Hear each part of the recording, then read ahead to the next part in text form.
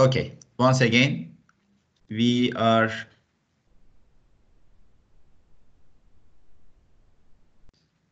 uh, going to talk about recursive methods today. So recursive methods is called a kind of method which is going to call itself. Okay, so generally, for example, uh, the kind of method I'm going to write now, integer, let's say sum, in parentheses it may have like integer a, for example, and in brackets we can have a kind of return x, y, z, whatever it is. It can be integer x, y, z. In this method, in, in this method, in this kind of method, if this method somehow calls itself, for example, x, y, z is equal to sum 3. So as you see, this method is sum method. In this sum method, it is calling itself. So it, in other words, it's going to uh, send this tree here, work on it, and result is going to come back. Okay, so this kind of method is calling itself. If you use this kind of method continuously, regularly, then, then it's called recursive method. So with the example I will explain now, for example, we have a, a formula for factorial. You, you know about it. So what is factorial in general? Factorial, when we talk about it is n factorial, for example. For n factorial, we just call it like n multiply by n minus 1, multiply by n minus 2, until 1. Here is the original example. 5 factorial is equal to 5 multiplied by 4 multiplied by 3, 2, and 1. And the result is going to be, as you know here, 120. 5 times 4 times 3 times 2 times 1 is 120. So this is called factorial. Now, when we talk about a method for factorial, we can create such method, as you may know. And here is the example. Here is the example. We have an integer uh, method, which is called, let's say, f for factorial. And we are going to have inside integer n, for example. So then we are going to open and close this method. And inside, we are going to use this formula. What is this? First of all, integer r is equal to 1. What is r? r is the result, to find the result. And in a for statement, here is for statement, integer i is starting from n. What is n? This n is coming here. You may remember from last week. And from here, while i is greater than 0 because n until 1 we are going to carry on then we are going to have a i minus minus so what is that we are going to just decrease so as you see here in this loop we are going to have n and minus 1 and minus 2 and minus 3 and minus 4 is going to continue until i becomes 1 what am i going to do here r is equal to r multiplied by i. So here in this loop, we found the factorial, the formula, and at the end, at the end, we are going to return r. Okay, so at the end, we are going to return r. So this is how you calculate, this is how you calculate factorial. Did we use any recursive method here? Not yet. This is how we do like in general way, in traditional way. So now when we talk about uh, recursive function, when we talk about recursive function, here is the example. This is important part. Again, we have integer, for example, f. This is how we find integer n. Again, we are going to send n here. And internally, again, I'm going to have integer r, which is equal to 1. Pay attention, this part is important. This part is important.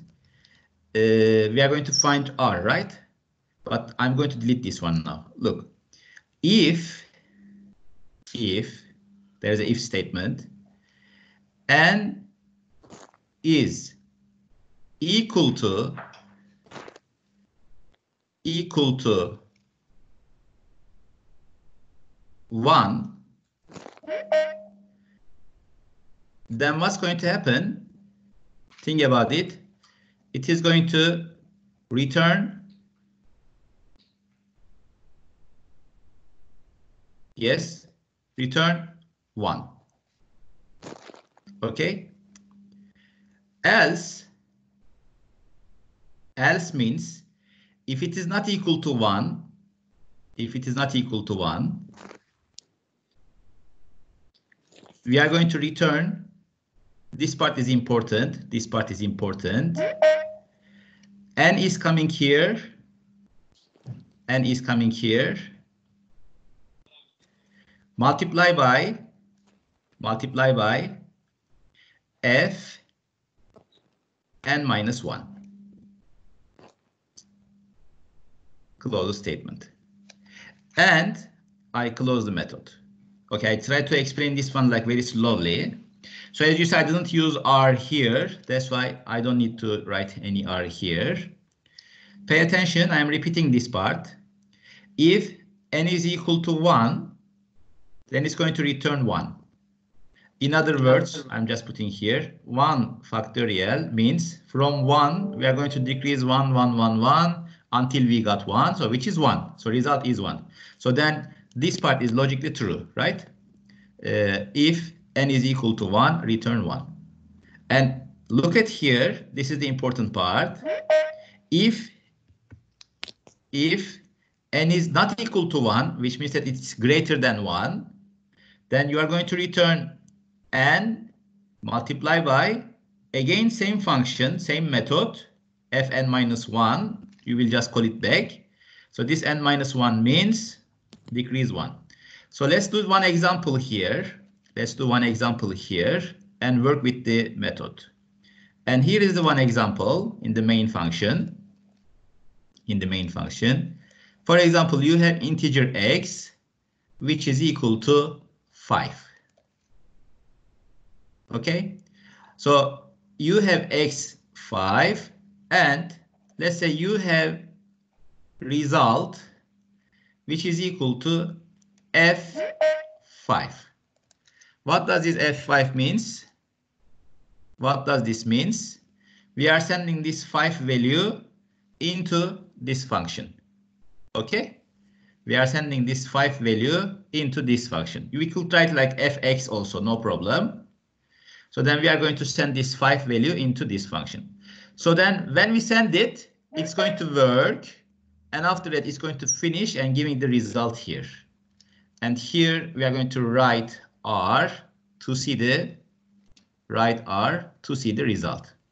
So let us let us run this program.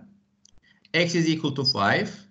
R is equal to Fx, F5. So then we are going to send 5 there. So let us send 5 here and work it uh, slowly. So what is n? n is equal to 5. So what are we looking for? We are looking for f5, right? So f5, what is it? Let's go in. n is equal to 1. Is it equal to 1? It is 5. It's not equal to 1. That's why it's going to go to else. Return n multiply by f n minus 1. So in other words, it is going to return.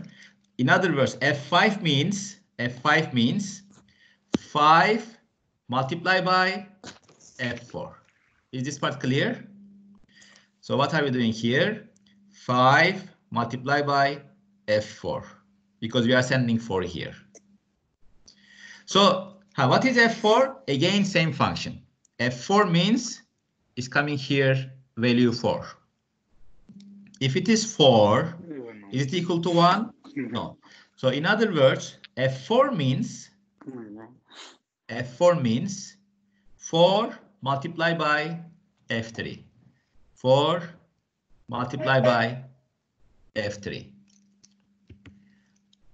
Okay. Oh, F3 means, again, we are going to call very same function. So this 3 comes here. So is it 1? No. Then return 3 multiplied by F3. So F3 means 3 multiplied by F2. Okay. So then 2 comes here. 2 comes here. Is it 1? No. So then return F2 means F2 means F2 means 2 multiplied by 2 multiplied by F1. Okay, 2 multiplied by F1. So when we carry on, when we carry on, the last one, we are just going to find F1. n is equal to 1. N is equal to 1. So if it is 1, return 1. So then F1 means 1, right? So let's go back. What is F1? 1. So then this is 1. 1 times 2 is 2. F2 is 2. This is 2. So 2 times 3, it is 6. F3 is 6. So if F F3 is 6, 6 times 4, 24. F4 is 24. So then 24 multiplied by 5 is 120. So as you see here, as you see here, without using any for loop or another loop, in the same method, we used here, calling the same method here.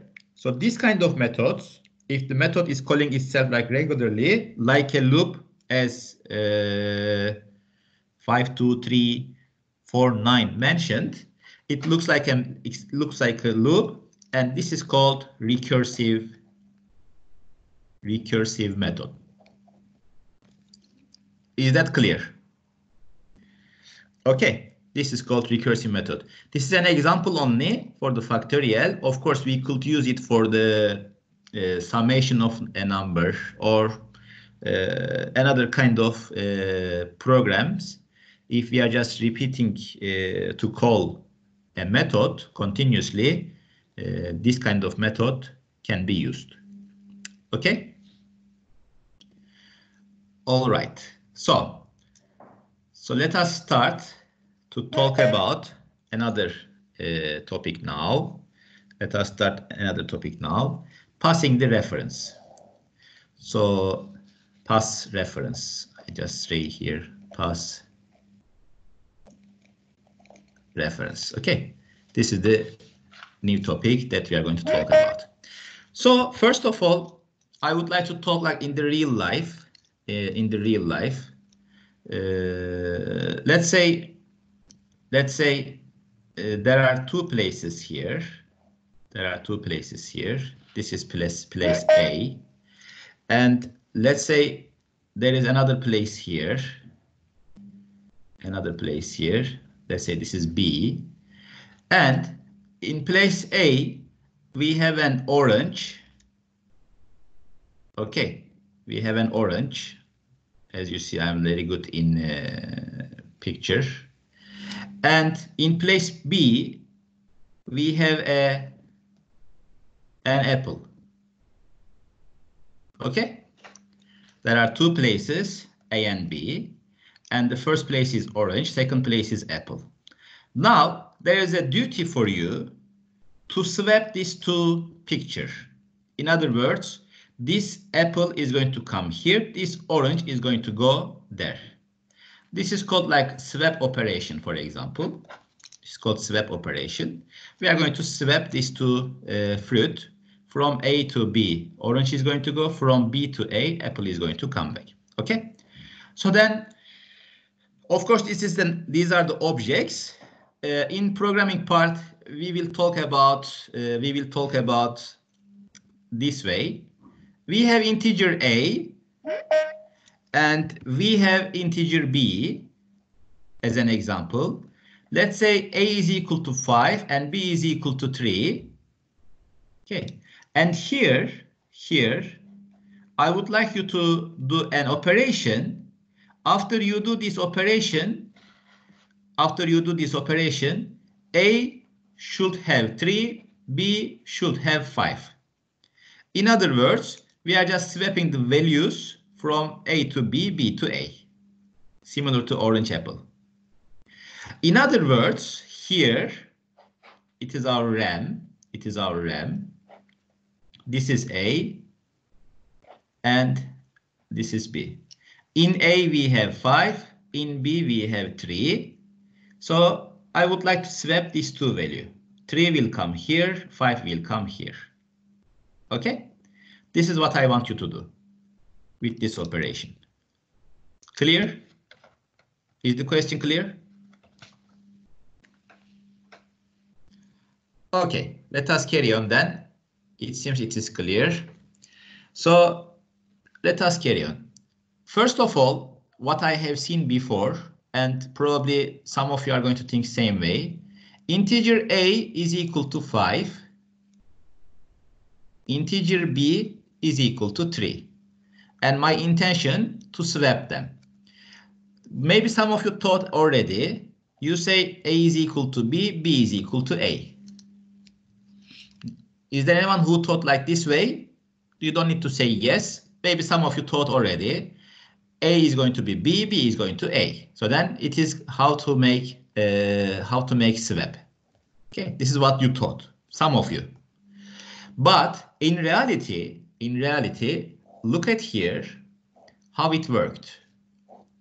If we have here A and if we have here B and A is equal to 5, B is equal to 3. Look at the first step. It says A is equal to B. If it says A is equal to B, so then what happens, as you remember, this 5 disappears 3 comes here, right? And B is equal to A. So B is equal to A. B disappears. What do we have in A? 3. As you see, if you write this way, A is equal to B, B is equal to A. So you missed 5. 5 disappears. You didn't swap 5 and 3. You just uh, put both of them 3. Did you understand this part? Must I repeat this part? answer this way. Did you understand this part? A few of you. Okay, good. Let us carry on. Let us carry on. But this is our duty. This is our duty to make this swap, right? So think like this way. I'm going to show here. You have two things in your hand and you want to swap these two things. But at the same time, you cannot hold two things in your hands, one of your hands, okay? So what are you going to do? First of all, the first thing that you have in your hand, this pen, for example, you have to leave it here on floor. Your hand is empty now. From your second hand, from your second hand, put the stuff inside here. And to your second hand, hold the key. Do you understand what I mean? So to swap these two uh, to swap these two variable, to swap the information from these two variable, you need another place to hold to secure the value there. So the very same problem, one more time, I will do it. Integer a is equal to 5. Integer b is equal to 3. What are we going to do? We are going to create a variable which is t, means temporary. And first of all, I will say t is equal to a what am I doing now? I am holding A in T. And after that, I am saying A is equal to B. I am putting B into A. And after that, I'm saying that B is equal to T. So then what happens now, if we look at the RAM, if we look at the RAM, here we have A, here we have B, and here we have T. A is equal to 5, B is equal to 3. Now, T is equal to A, which means that T is equal to 5. A is equal to B, which means that A is equal to 3. B is equal to T, which means that B is equal to 5. Look at here. A was 5, B was 3. Now A is 3, B is 5. So then we swap the information. Did you understand how I did? Uh, you can't see anything or it's very small. 51661. Uh, quality bed. Okay. I will I will just make it bigger. Okay, I will start to write make uh, bigger. Okay, is this part clear? Did you understand this part? This is how you swap two values in uh, in a program.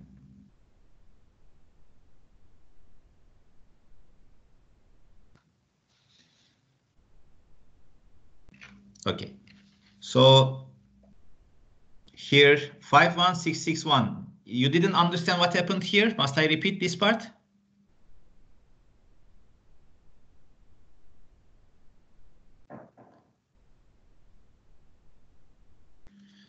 All right, let us carry on now. Uh, must I must repeat. Okay, look at here. Uh, look at here. I'm going to repeat this part quickly. If we have integer a, huh, I will, okay, let me write it bigger because you want to see it bigger. Integer a is equal to 5. Integer b is equal to 3. We would like to swap these two values. 3 will be a in a and 5 will be in B. So how am I going to do that? I am creating a temporary uh, variable which is t, which is t, and t is equal to a, a int. is equal to b, int. b is equal to t. By writing this way, what am I doing? I am putting this A value in somewhere to not lose the value inside. I am putting in a B, then I am just starting to swap. B is going to go in A. And at the end, B is equal to T by saying that the one that I put in temporary place, I put it back into B. And in RAM, in RAM, we have v variable a b t i said. A was 5 b was 3 and t was nothing. So here t is equal to a 5 comes here. A is equal to b look a is equal to b means 3 comes here. 5 disappears 3 comes here. And b is equal to t means b is equal to t means this 5 is going to come here. So as you see at the beginning, okay, so this uh, microphone, is there anyone who use microphone? Please uh, turn off your microphones.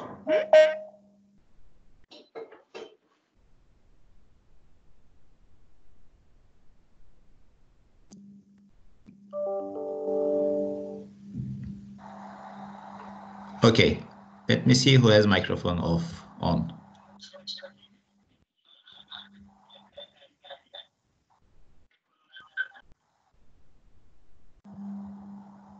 Okay.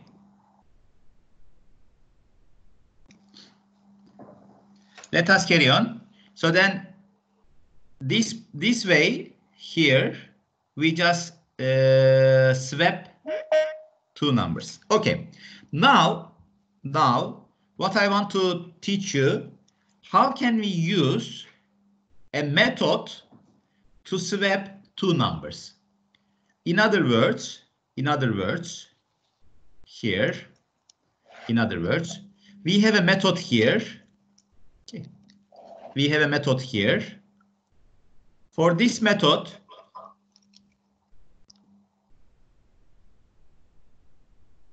uh, wait, 51120. Can you please turn off your microphone? Thank you.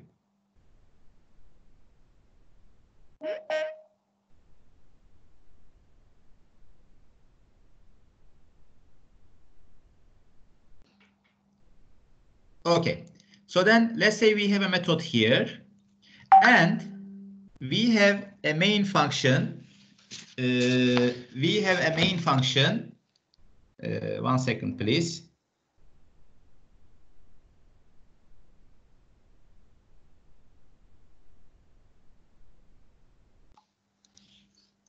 We have a main function here. From this main function, this is the important part we have integer a, we have integer b, and a is equal to 5, b is equal to 3. This part is important.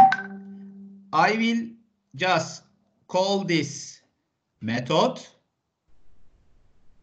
I will just call this method. And the result is going to be swapping of this a and b. Okay? So this is the question. I'm going to use a method. I'm going to use a method.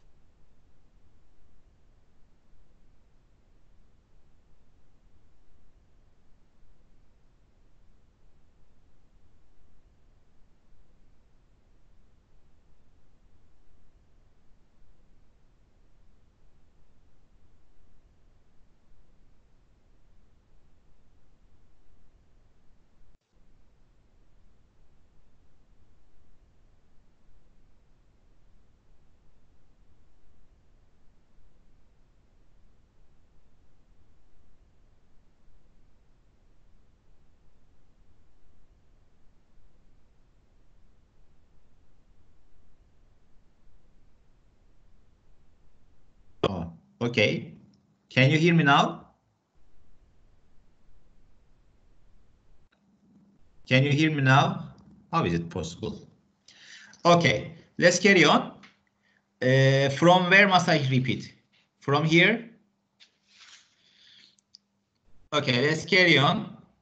So what I said, okay, what I said, we have main function. From the main function, we have two variables for example, a is equal to 5, b is equal to 3. And I would like to swap these two value, but this time I'm going to swap this two value by using a method. To use method, to use method, I'm writing here, how am I going to swap this a and b? I'm going to send here two values. I'm going to receive back these two values okay, uh, after its swap. Is that clear?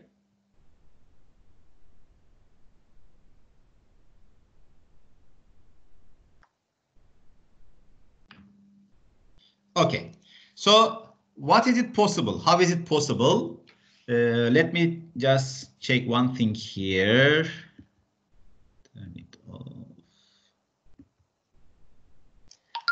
How is it possible?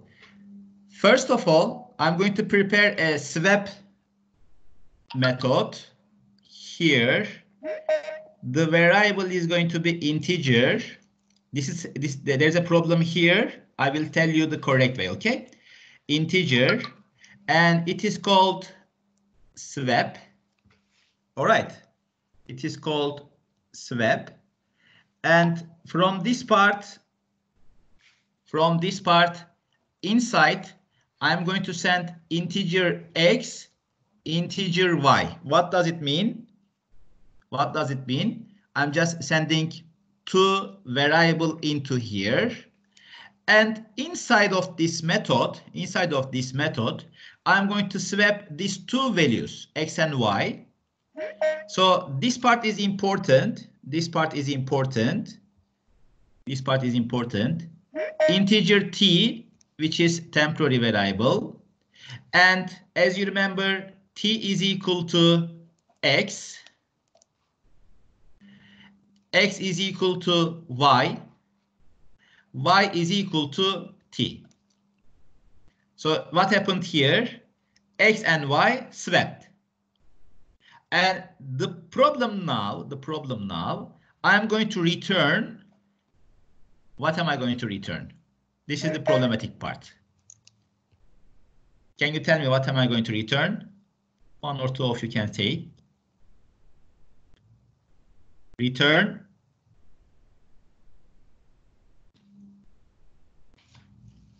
T.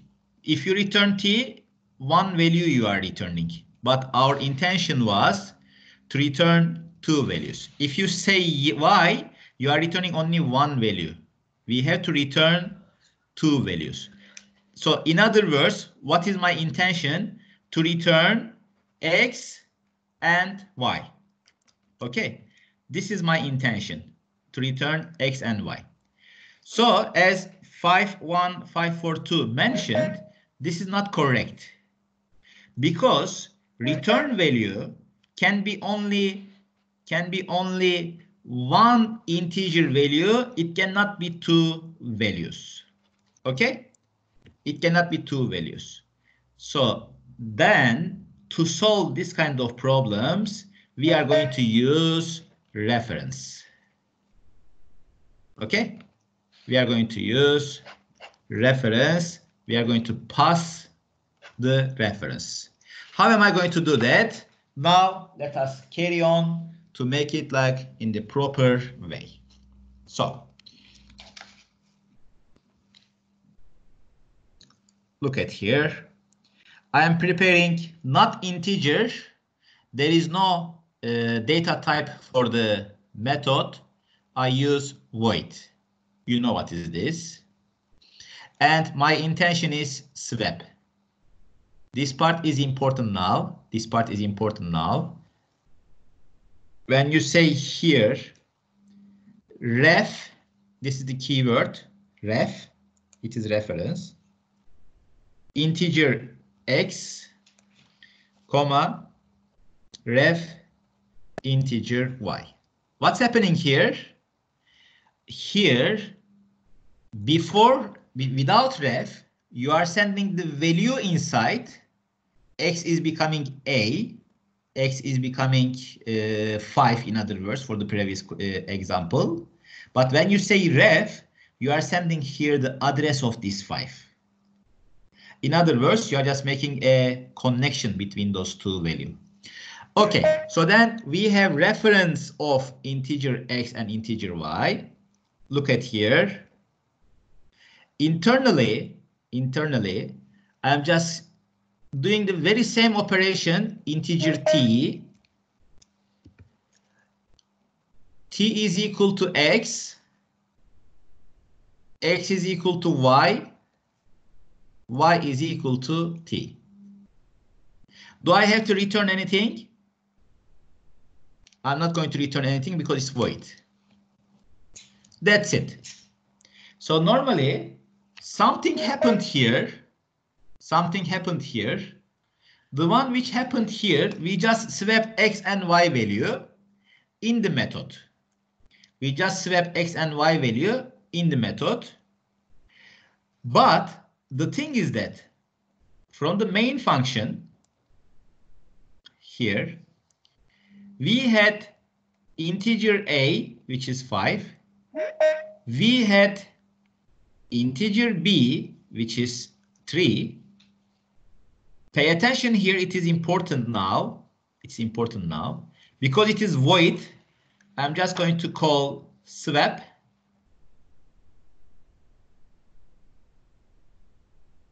Reference A, reference B. What is happening here? You are not sending their 5 and 3. You are sending their address of 5 and address of 3. So when you send address there, so when you go in, your addresses are changing inside here.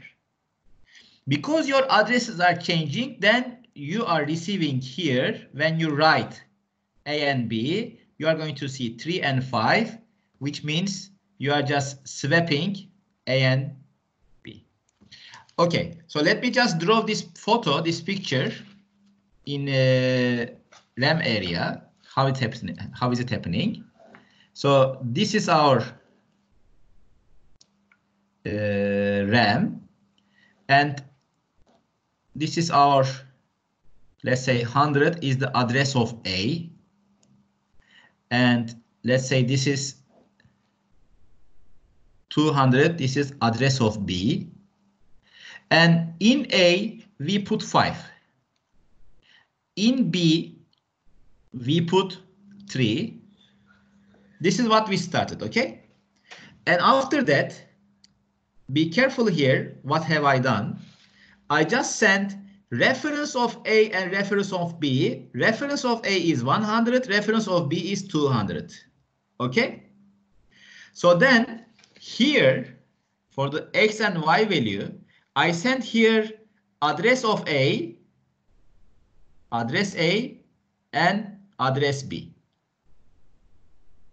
So what happened inside here? I just swapped those two addresses. In other words, you know how to swap. I taught you already. Address of A change here. Address of B change here. Okay, because we swapped the addresses.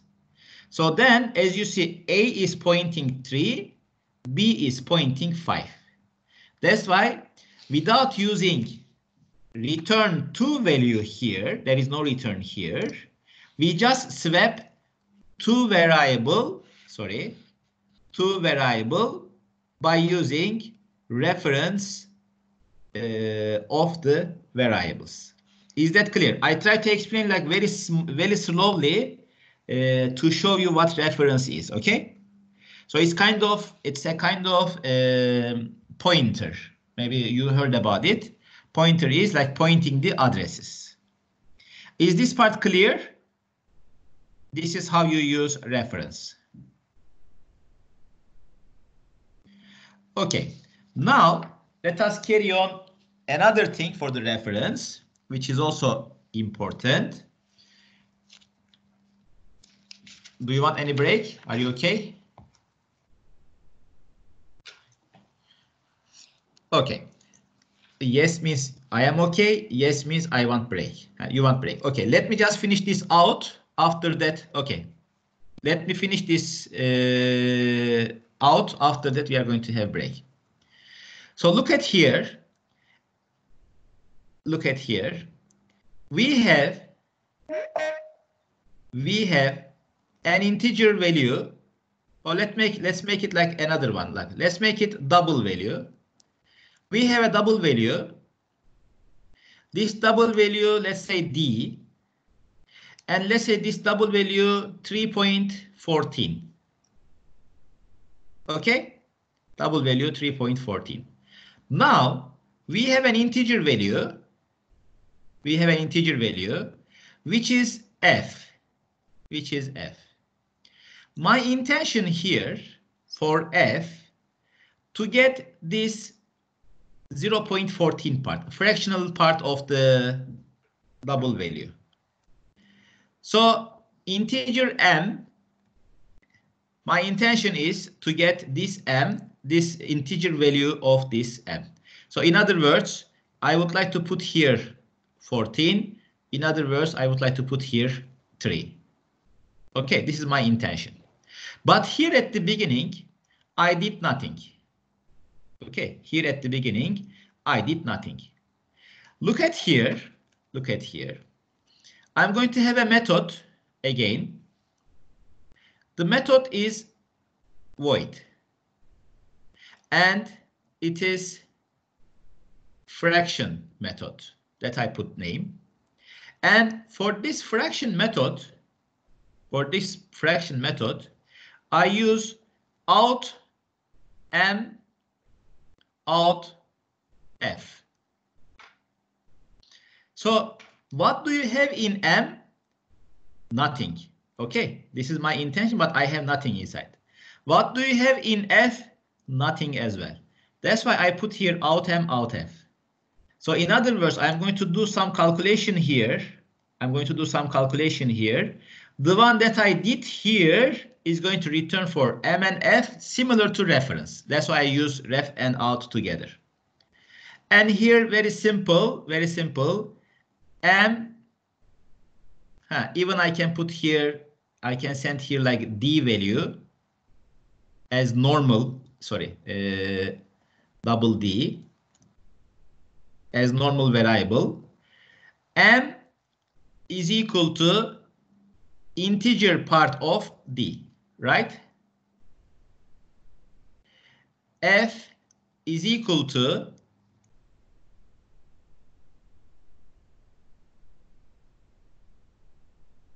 one hundred multiply by D minus M. I made the calculation here saying that from D, which is 3.14, minus M, M is 3 because integer part of D is 3, so it is 0.14. So 100 times 0.14 is 14. Do I have to return anything? I don't need to return anything because F is already uh, connected to this previous F. Done, finish. And from here, I can say fraction method, I'm calling now fraction out M, out F. Okay, sorry, out integer M, out integer F should be the variable name here. So then, in other words, this M, it has nothing. This information goes here. This F, it has nothing. This information goes here.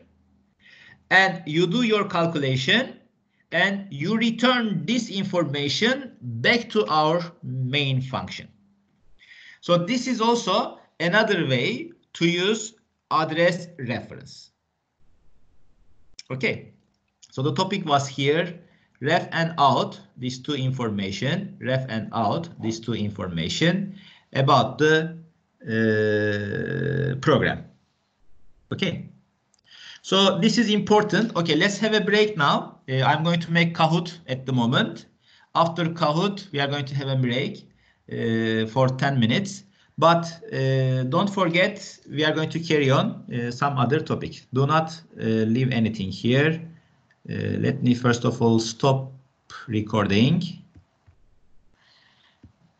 Okay.